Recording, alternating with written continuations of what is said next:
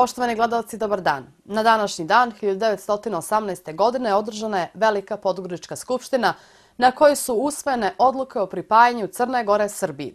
U okviru Dana Srpskog sabora večera su u kripti hrama Hristovog vaskrsenja u Podgorici u 19 sati održat će se svečana akademija povodom stotinu godina od početka Prvog svjetskog rata i 96 godina od Velike Podgoričke skupštine Srpskog naroda u Crnoj Gori. Neću oklijevati da zatražim najstrože sankcije za slučaj inficiranih beba u Bijelom polju. Tragedija gubitka djeteta je cijena koje crnogorsko društvo ne smije tolerisati. Naglasio je premijer Crne Gore Milo Đukonović odgovarajući danas u parlamentu na pitanja predstavnika poslaničkih klubova. Poslanik DPS Milutin Simović pitao je premijera o inficiranju beba u Bijelopoljskoj bolnici.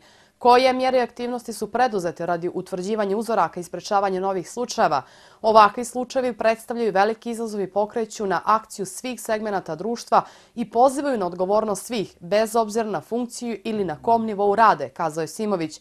Ovaj slučaj je bio povod ostavke ministra zdravlja Miodraga Radonovića. Ostavke čin čovjeka visokih moralnih i profesionalnih kvaliteta, naglasio je Simović.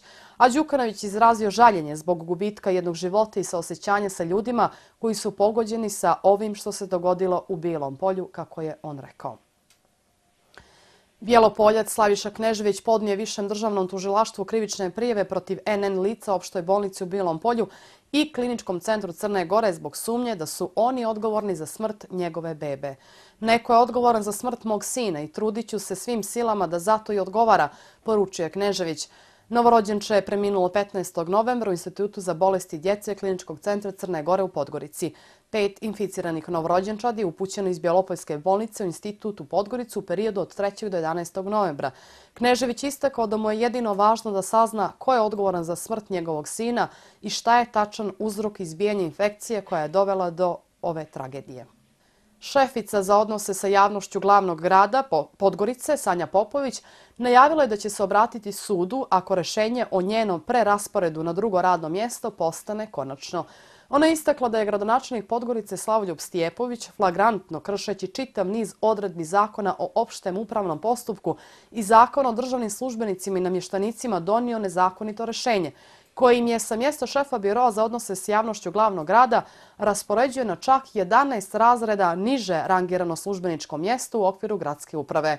Ona dodaje da je pokušaj Stijepovića da je nametne upotrebu jotovanog pravopisa doživjela jednako absurdnim kao kada bi pokušao da je natjera da po svaku cijenu govori na način karakterističan za njegovu zetu ili za njene kuće, Napominjem da ovu diskriminaciju u jednoj službi sprovodi čovjek koji tek što je započeo svoj mandat gradonačelnika Podgorice, do kojeg je došao obećavajući da će mu prava svakog građanina bez obzira na njegovu nacionalnu, vjersku ili političku pripadnost biti u prvom planu, objasnila je Popović.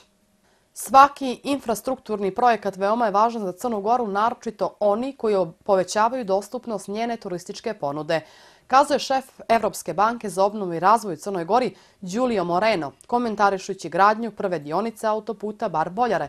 Pošto su putevi prioritet, smatram da je bilo mnogo važnije graditi zaobilaznice gradova na obali, Također, važno je naprijediti aerodrom izgradnjom dodatnih terminala i prilaze njima. Na primjer, aerodrom u Tivtu nije prilagođen noćnim letovima, navio je Moreno. On smatra da autoput neće ugroziti druge projekte jer postoji prostor za djelovanje na drugim poljima, te da će neke od njih finansirati i Evropska unija. Ukoliko protest na Filozofskom fakultetu u Beogradu potraje, školska godina će biti prekinuta. Poručuje danas ministar prosvjete, nauke i tehnološkog razvoja vlade Republike Srbije Srđan Verbić. On smatra da su neke stvari mogle biti urađene i ranije, ali da je isto tako urađeno sve u rešavanju studentskih pitanja. Ministar za bezbjednostne snage takozvanog Kosova Agim Čeku izjavio da će Kosovo uskoro imati vojsku. Piše prištinski dnevnik Epoka ERE. Bezbjednostne snage Kosova očekuju svoju novu misiju, nove obaveze, odgovornosti i nadležnosti i vjerujem da će jedna od prvih odluka novog saziva Skupštine biti transformacija tih snaga u vojsku, izjavio Čeku prenosi Fonet. Čeku tvrdi da postoji jaka međunarodna podrška za takvu transformaciju.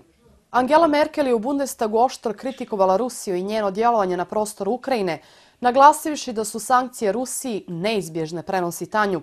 Cilj je suverena Ukrajina koja će o svojoj budućnosti sama odlučivati, kazala Merkel. Kancelarka je navjela da se i direktno i indirektno učešće Rusije u borbama u Donjecku na istoku Ukrajine također ne može ni sa čim pravdati i optužila Rusiju da svojom politikom krši međunarodno pravo i dovodi u pitanje evropski mirovni poredak.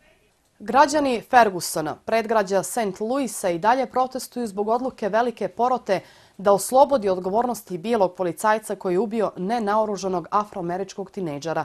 Protesti su se proširili na cijelu zemlju. Demonstranti su zapalili automobil policijske patrole u St. Louisu, a policija je proglasila proteste nelegalnim okupljanjem, upozoravajući demonstrante i novinare da bi mogli biti uhapšeni, prenosi Tanjug. Vrijeme u Crnoj Gori s jutra, oblačno i kišovito, vjetar slab i promjenjiv, najviša dnevna temperatura od 5 do 15 stepeni.